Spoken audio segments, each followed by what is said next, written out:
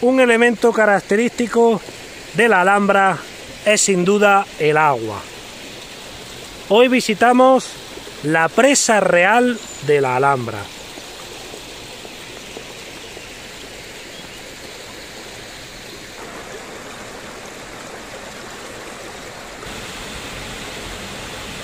Esta presa está construida en el llamado Camino Aveas y está a 500 metros del cortijo Hacienda Jesús del Valle, del que ya tenéis un vídeo mío. La presa, como podéis observar, está construida con mampostería y grandes cántaros rodados angulosos que se unían con hormigón de cal. Es un muro con machones de madera y huecos que completaban esta bueno, pues esta infraestructura. Se colocaban con puertas móviles hechas de madera que controlaban a voluntad de los operarios para regular el cauce del agua.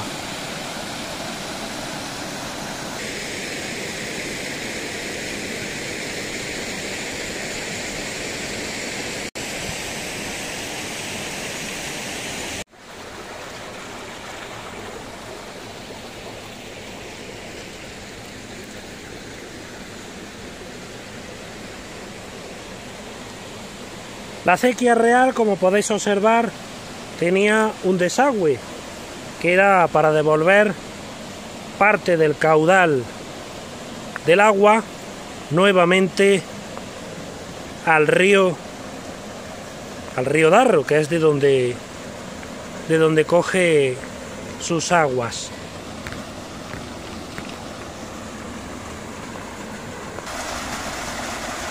Fijaros si era importante esta presa real, que durante la época nazarí era un grave delito cualquier atentado contra esta acequia. Y que tenemos la zona del desagüe. Hola, ¿qué tal a todos? Bueno, una vez que hemos llegado aquí a la presa real de la Alhambra, comienza la acequia real de la Alhambra, es una infraestructura hidráulica que abastece de agua al Palacio Fortaleza de la Alhambra que todos, que todos conocemos. Tiene su origen con el sultán Muhammad I, que fue el primer sultán de la dinastía nazarí, aquí en Granada, y que gobernó durante 1238 a 1273. También fue sultán de Jaén, de Arjona, de Málaga, de Almería, bueno.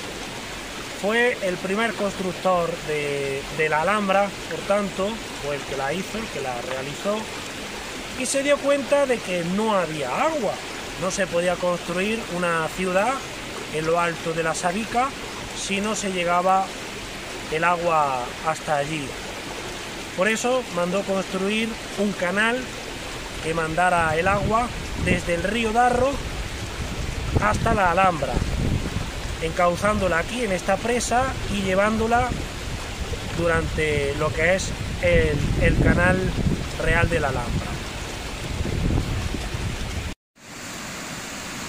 Basándose en las captaciones hidráulicas que los romanos habían hecho para llevar el agua desde las minas de oro que hay en Cenes de la Vega, que aún nos lo he enseñado, y los conocimientos de los ingenieros nazaríes, pues hicieron este, este sistema para llevar el agua a la Alhambra.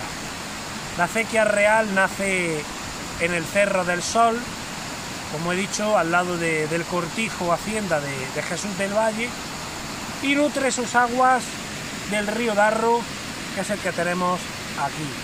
Un recorrido, por cierto, que es de 6,1 kilómetros de, de largo y tiene dos grandes, dos grandes ramales.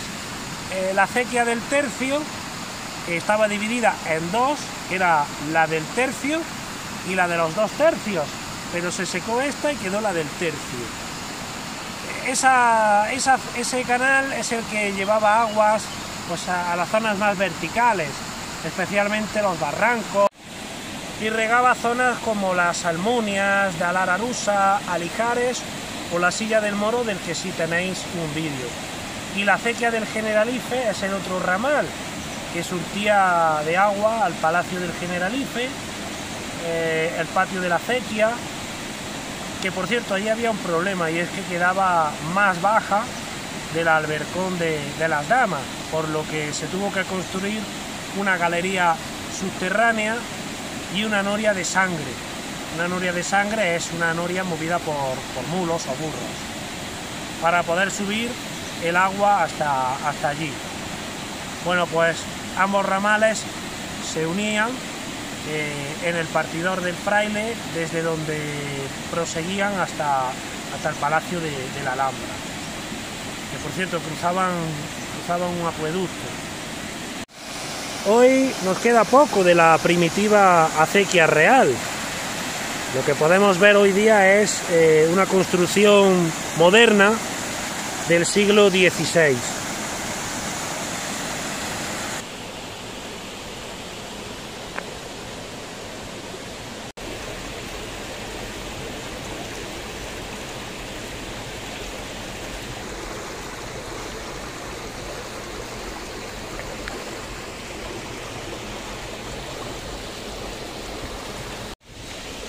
Bueno, pues desde esta presa real de la Alhambra yo me despido, espero vuestros likes y hasta el próximo vídeo a todos. ¡Adiós!